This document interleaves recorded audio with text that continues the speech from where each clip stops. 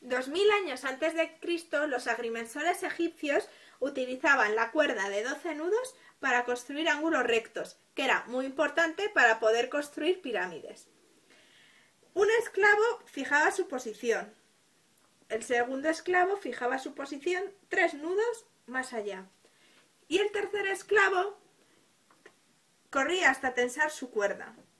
De tal forma que queda el famoso triángulo pitagórico de lado 3, 4 y 5.